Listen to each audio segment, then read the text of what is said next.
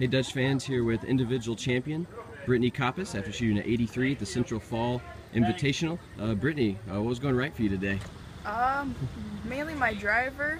Um, my second shot's in the green. I hit 17 out of the 18 greens in regulation, so that's good.